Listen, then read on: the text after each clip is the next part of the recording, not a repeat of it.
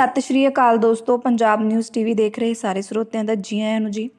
ਹੁਣੇ ਹੁਣੇ ਇੱਥੇ ਹੋਲੀ ਮਨਾਉਣ ਜਾ ਰਹੇ ਚਾਰ ਲੋਕਾਂ ਦੀ ਇਸ ਤਰ੍ਹਾਂ ਤੜਫ ਕੇ ਹੋਈ ਮੌਤ। ਦੇਖੋ ਪੂਰੀ ਖਬਰ। ਹੈ ਖਬਰ ਨੂੰ ਸ਼ੁਰੂ ਕਰਨ ਤੋਂ ਪਹਿਲਾਂ ਜਿਨ੍ਹਾਂ ਨੇ ਚੈਨਲ ਨੂੰ ਸਬਸਕ੍ਰਾਈਬ ਨਹੀਂ ਕੀਤਾ, ਉਹ ਸਬਸਕ੍ਰਾਈਬ ਕਰ ਲੈਣ ਤੇ ਵੀਡੀਓ ਨੂੰ ਵੱਧ ਤੋਂ ਵੱਧ ਲਾਈਕ ਤੇ ਸ਼ੇਅਰ ਵੀ ਕਰ ਦੇਣ। ਯਮੁਨਾ ਐਕਸਪ੍ਰੈਸ ਦੇ ਇੱਕ ਭਿਆਨਕ ਹਾਦਸਾ ਵਿੱਚ ਚਾਰ ਲੋਕਾਂ ਦੀ ਮੌਤ ਹੋ ਗਈ। ਦਰਅਸਲ ਇੱਕ ਡਰਾਈਵਰ ਪਾਰ ਕਰ ਦੂਜੇ ਪਾਸੇ ਚਲੇ ਗਏ ਤੇ ਇੱਕ ਬੱਸ ਨਾਲ ਜਾ ਟਕਰਾਈ।